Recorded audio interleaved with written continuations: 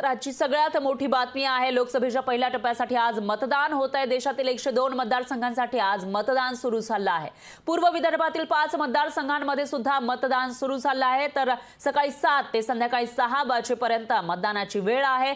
गडचिरोलीमधील संवेदनशील भागामध्ये दुपारी तीन पर्यंत आता प्रचारादरम्यान आम्हाला दिसली आणि सकाळपासून जो एक तास झाला आहे तर मतदार केंद्रावरही ती उत्सुकता दिसत आहे. किती पर्सेंट मतदान होणार असं वाटते मला वाटते पंचावन्न ते साठ टक्क्याच्या जवळ मतदान जायला पाहिजे. मंगेश मोबाईल त्याला आता अजून काही नाही.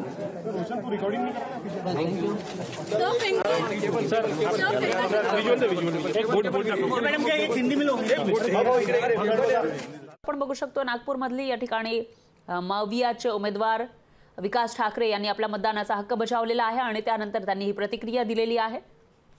तर पंचावन्न ते सात टक्के मतदान होईल असा विश्वास त्यांनी व्यक्त केलेला आहे.